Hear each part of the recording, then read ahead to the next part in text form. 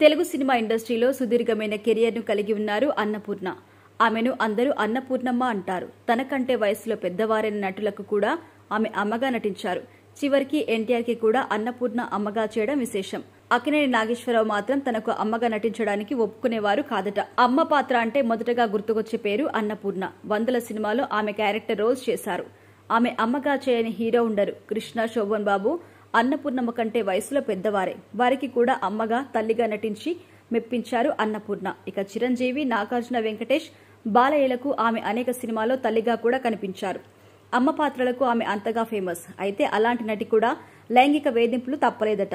తన కెరియర్లో ఆమెకు ఎదురైన క్యాస్టింగ్ కోచ్ అనుభవాలు కూడా చెప్పారామె. నాలుగు దశాబ్దాల కెరియర్లో ఆమె చిత్ర పరిశ్రమను వడపోశారు. రకరకాల మనుషుల్ని చూశారు. కొన్నాళ్ళుగా ఆమె పలు యూట్యూబ్ ఛానల్స్కి ఇంటర్వ్యూలు ఇస్తున్నారు. ఇదే క్రమంలో క్యాస్టింగ్ కోచ్ పై ఆమె స్పందించారు. టాలీవుడ్లో క్యాస్టింగ్ కోచ్ ఉందని ఒకప్పుడు ఇంకా ఎక్కువగా ఉండేదని ఆమె కుండ బద్దలు కొట్టారు. ఒక సందర్భంలో అన్నపూర్ణ మాట్లాడుతూ తప్పు అనేది ఒకరి వైపే ఉండదు. ఇద్దరిది ఉంటుంది. క్యాస్టింగ్ కోచ్ అన్ని రంగాల్లో ఉంటుంది. కుటుంబ పరువు మర్యాద కోసం మహిళలు వేధింపుల నుండి తెలివిగా తప్పించుకుంటున్నారు. అవకాశాల కోసం ప్రయత్నం చేసే వాళ్ళకు ఈ లైంగిక వేధింపులు తప్పవు అన్నారు. అలాగే తనకు ఎదురైన అనుభవాలు అన్నపూర్ణమ్మ వెల్లడించారు. అప్పట్లో అవకాశాలు ఇవ్వాలంటే వేధించేవాళ్ళు. ఆఫర్ ఇస్తే మాకేంటి అనేవారు. ఇక నేను ఇరవై ఏళ్ళకే పెళ్ళి చేసుకుని ఇరవై ఐదేళ్ళకు అమ్మ పాత్రలు చేయడం స్టార్ట్ చేశాను. మదర్ హౌస్ చేయడం మొదలుపెట్టాక లైంగిక వేధింపులు తగ్గాయి. షూటింగ్స్ కోసం ఎక్కడికెక్కడికో తిరిగేవాళ్ళం.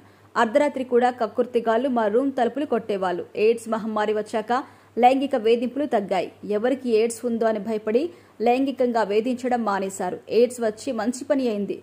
ఒక్కోసారి చెడు వల్ల కూడా మంచి జరుగుతుంది అని అన్నారు అన్నపూర్ణ.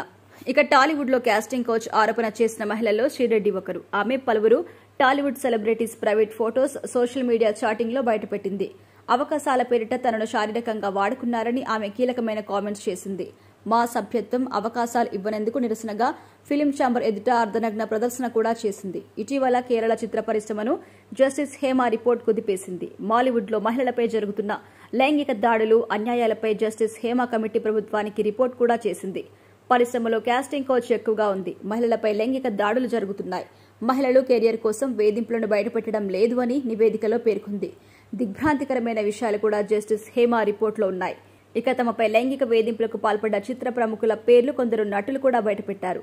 వారిపై కేసులు కూడా నమోదు చేశారు. ఇక టాలీవుడ్లో జానీ మాస్టర్ వ్యవహారం ప్రకంపనలు సృష్టిస్తోంది. లేడీ అసిస్టెంట్ జానీ మాస్టర్ తనను చాలా కాలం పాటు లైంగికంగా వేధించాడు అని కేసు పెట్టింది. మైనర్గా ఉన్నప్పుడే జానీ మాస్టర్ లైంగిక దాడి చేశాడు అని ఆమె ఫిర్యాదులో పేర్కొంది. పరారీలో ఉన్న జానీ మాస్టర్ని పోలీసులు గోవాలో అరెస్ట్ చేశారు. కోర్టు పద్నాలుగు రోజుల రిమాండ్ కూడా విధించింది. ఇటీవల బెయిల్పై విడుదలయ్యారు. జానీ మాస్టర్కి బెస్ట్ కొరియోగ్రఫర్గా జాతీయ అవార్డు రాగా ప్రభుత్వం ఆ అవార్డుని రద్దు చేసింది.